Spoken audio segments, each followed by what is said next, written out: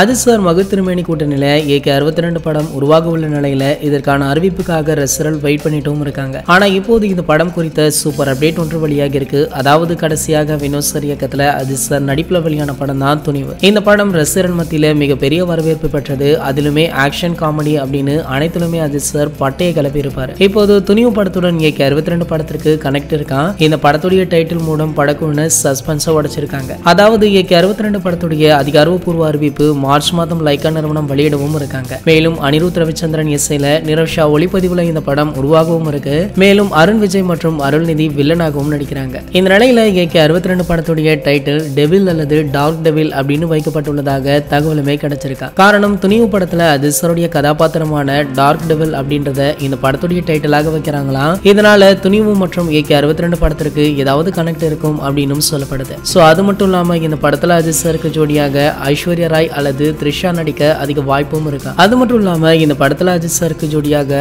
ஐஸ்வர்யா ராய் அல்லது த்ரிஷா நடிக்க அதிக வாய்ப்பும் இருக்கா? இவங்க ரெண்டு பேரிடமும் தற்போது படக்குழுவினர் பேச்சுவார்த்தை நடத்திட்டு இருக்காங்க. மேலும் அறிவிப்பு வெளியான உடனே படப்பிடிப்பு தொடங்கும் அப்படின்னு படக்குழு பிளானும் போட்டிருக்காங்களாம் அஜித் சாருடைய துணிவை விட இந்த படம் ரசர்ல ஒரு படி அதிகம் கவர வேண்டும் அப்படின்ற முனைப்புல மகு திரு மேனி ஒர்க் பண்ணி வருவதாகவும் தகவல் கிடைச்சிருக்கு. சார் ஓகே இது போன்ற நம்ம அஜித் சாரை பற்றி வெளியாகும் அனைத்து செய்திகளுமே நீங்கள் உடனே தெரிஞ்சுக்க. நம்மளுடைய சினிமா கொட்டா அப்படின்ற இந்த சேனலை சப்ஸ்கிரைப் பண்ணிக்கோங்க. மேலும் பக்கத்தில் உள்ள பெல் ஐக்கான மறக்காமல் கிளிக் பண்ணுங்க.